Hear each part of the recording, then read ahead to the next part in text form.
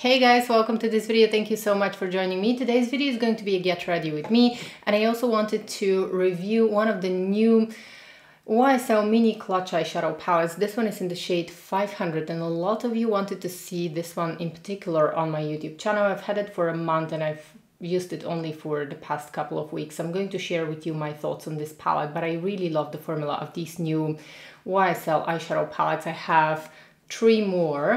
And then we have a very promising new product that I think might be a game changer for this summer. And this is a mineral drops with SPF 50. I'm going to tell you more in a minute. And I have a few other products that are quite new to me. So let's go ahead and get started. If you're new here and you enjoy beauty talks, um, take a moment to subscribe. I would love to welcome you to our beauty community. And if you're returning, welcome back, dear friends. Please let us know if you've already tried any of the products that I'm going to be using in this video. I want to know what's your opinion and what was your experience with these products because this helps us a lot. Now I'm going to take my hair back out of the way and then let's go ahead and get started. So right now I don't have anything on my face except from serum and eye cream. I'm going to make sure to list everything in the description box. The first product that I want to try is from Odacité and this is a new, this brand is new to me actually. It's based in California and this is their new SPF 50 Mineral Drops Tinted Sunscreen and it was a very, it impressive product. I saw it online and I was immediately, it attracted my attention because this is supposed to be a skincare and SPF all at the same time. Um, that is going to perfect the skin. It contains niacinamide, green tea, and chamomile, which means that it's going to be great for sensitive skin. So I'm going to just read a little bit of the box. I'm going to show you the box. I'm going to zoom in the ingredients, but this is a very it's it looked like a very promising product to me. Odacité is a clean beauty brand. I've read a little bit about their history. This is the very first product that I'm trying from the brand. This product is available in five different shades. I decided to choose the shade 01, which might be a little bit paler for my skin tone because I'm spending time um, at in south of France lately and um, I'm having some color. So I'm not with my usual winter color. On the box it says that this is a tinted SPF UVA UVB mineral sunscreen with triple action formula, acts like skincare, shields, like high protection sun care and delivers beautiful complexion correcting coverage. Sun 5 flex perfecting shades utilize unique color adapting pigments that blend immediately delivering a natural feels just like your skin finish that you will want to wear every day. I'm all about the sunscreen, especially in the summer season. And even though I use a dedicated SPF, I don't mind uh, such product that uh, is like a tinted moisturizer slash foundational light product that is going to give me color and that has SPF 50. This is something that I always look forward to try. And it says also this velvety light hydrating formula also offers the highest PA++++ plus protection against aging effects of the sun. Now for those of you who are not familiar, PA stands for protection grade of UVA. So when you see on a product PA plus ratings, these are ratings that measure the product's ability to block UVA rays. So you're going to see usually this on, on sunscreens, you're usually going to see SPF 50, PA+++ or PA++++. Now here we can see that we have the highest possible protection because usually most of them most of the sunscreens that I use, um, they only have three pluses. So this one has four pluses. And the active ingredient here is zinc oxide 12%. It's excellent. Also, I forgot to mention that this product also protects from blue light, which is fantastic. This is like, it almost ticks all the boxes. I only hope that it's going to look beautiful on the skin as well.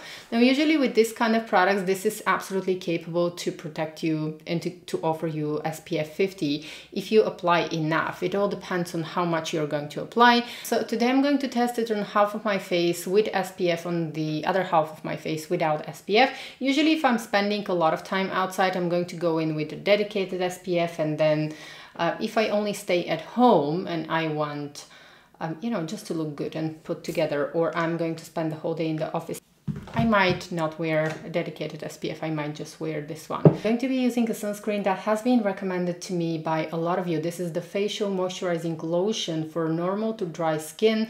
It's by CeraVe and this one contains ceramides as well. It's SPF 30. I have been using it in the past um, couple of weeks. I really like it. I'm going to apply it only on this side of my face though because I want to test the product also without the sunscreen and with sunscreen. Now um, I really like the CeraVe. It you can see that it completely disappears into the skin. It feels great. And I think that it's suitable for all skin types, except oily. So it's going to be best for normal to dry skin, it says on the box. To be honest, I actually like it a lot. I think that this is one of my favorite sunscreens that I've tried so far. It is quite affordable, it has great blend of ingredients and it's gorgeous.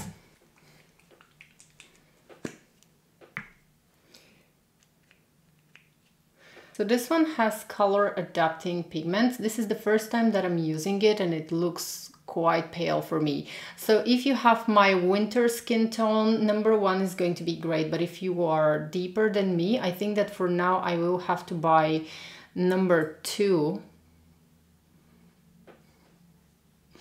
because this one is going to be too pale for my skin tone. It's going to match my neck though. My neck is always paler. So let me see how. So let me go ahead and see. I didn't see on the box um, recommended way of applying this product. But I'm going to go in with my fingers and maybe then use a beauty blender to push the product into the skin.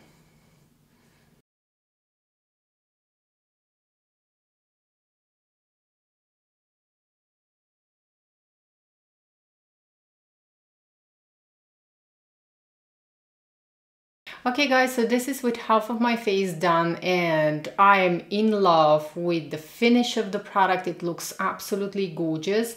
I'm not sure if the camera is going to be friendly to this product. Usually camera is not friendly to lightweight products. I can definitely say that it has a light coverage. I applied enough. Now the one thing that I'm seeing is definitely I will need the shade number two, but this is going to be like my perfect winter shade and I know that for the winter this is going to be excellent. It says that it's um, especially suitable for people with mature skin and I can see that because it blended beautifully into my skin. It does not, I'm actually going to keep applying this also on the other side, the side with the CeraVe I see that it doesn't um, emphasize any of my pores or imperfections. It doesn't settle into fine lines. Um, it just blends beautifully. It does take a little bit of blending though. So, but I can absolutely apply this one with my fingers. And I suppose that if I use a beauty blender, this is just a dry sponge beauty blender. I suppose that with the beauty blender it's going to be even more beautiful. Let's try that.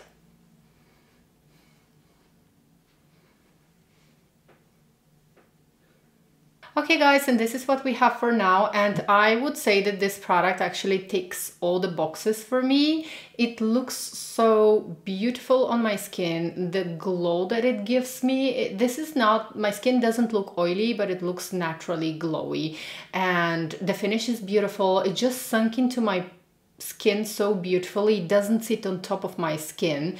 Now the only issue do not be misled by the fact here that uh, it's, it's definitely right now it's paler than my skin tone. I want to swatch this one next to my chanel numero un de chanel foundation because i have a feeling that this one is paler than my chanel um, b10 foundation. Yes it is paler. So for now i still can use Chanel's B10. Chanel's foundations in the shade B10 are darker they are like a shade darker than this one. I want to test it and see how it's going to wear during the day. I'm going to wear it for a week and if i like it i'm going to buy the shade number two as well. Because this there is no way this is going to work for me. It's even paler than my neck right now. Well finally we have a product that is actually too pale for my skin tone. I never thought that this was going to happen but we have a product that is actually too pale for me. Um, anyways, I love the finish. We're going to see how this is going to look during the day. I'm thinking if you have oily skin, this might not be the best one for you or you will have to use some good amount of powder. I'm actually going to use some powder now. I'm going to use some La Mer loose powder now because um, it has color and this is going to help to bring back some of the color on my face.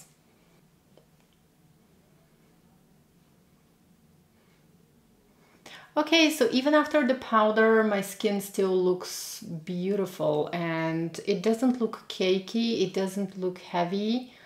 I think that this is a beautiful product. If that's what you're looking for, I'm going to update you in one of my next videos because I'm going to wear it for a week before actually purchasing another shade, but I would definitely need the shade number two. And then we're moving on to the other very exciting product of this video, and this is the YSL eyeshadow palette in the shade 500.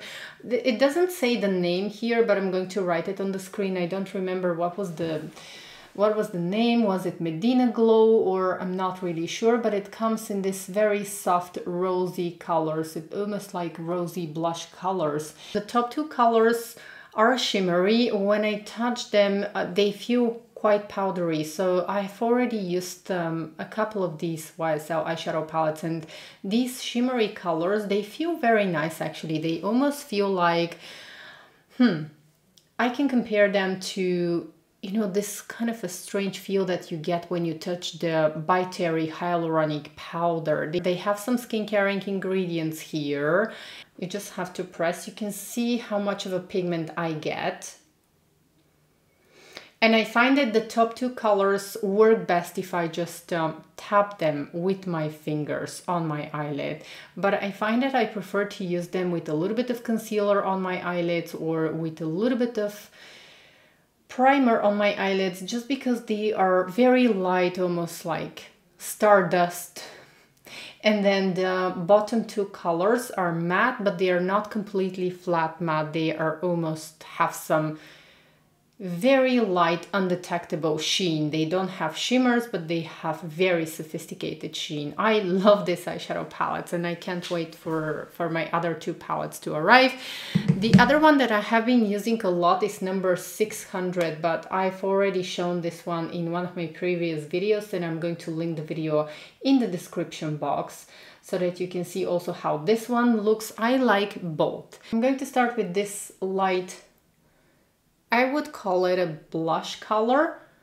Now, as I mentioned, a blush color, you know what, I'm actually going to try and use this one on my cheeks today because you can see that I get the color immediately on my eyelid. These are just blend very easily and I hope that they are going to be permanent. I still don't have information, but as far as I know, these are actually going to be permanent. I'm going to get a smaller brush and a deeper shade. I'm going to apply the deeper shade close to the lash line. I have been using this palette a lot along with the other one and I really like them.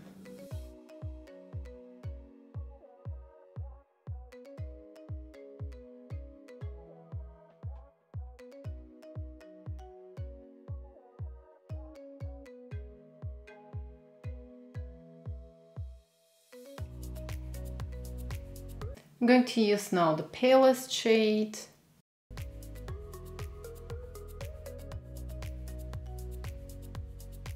Okay guys, so this is with the mascara on and I applied a little bit of eyeliner uh, just on the upper lash line, but I love how soft the look is. And I'm going to use a little bit of lipstick.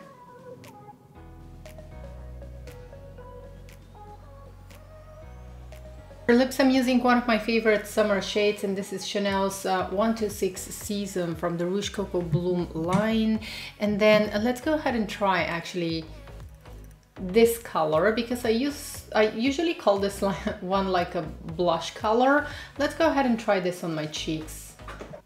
Nice as a blush as well. I may be wrong.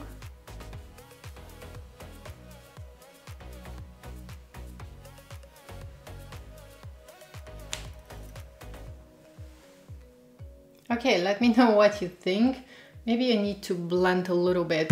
So um, it's highly pigmented and my skin is still a little bit wet um, from this product. It's not like, it's not powdery and I did not apply a lot of powder. So you can use this color as a blush if you want to, but you will have to apply powder first because you can see probably that it didn't blend so well. It's like somehow it's tricky here. I'm going to go ahead and fix that with um, a little bit of powder here.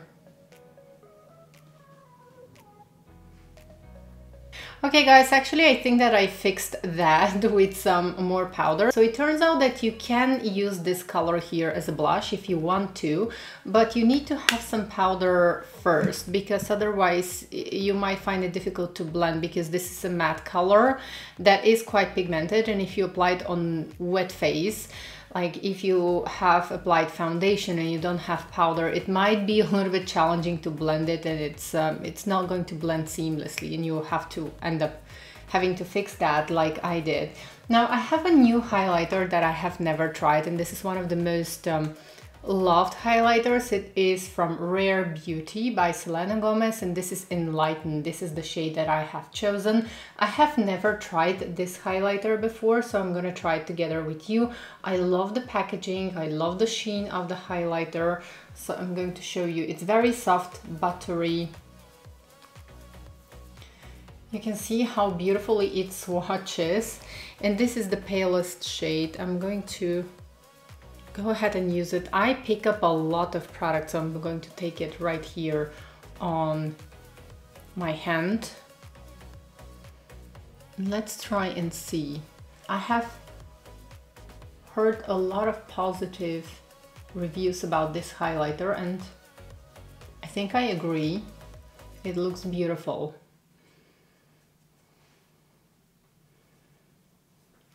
Let me know if you've tried these highlighters, but I am... Wow, I like it. I like it.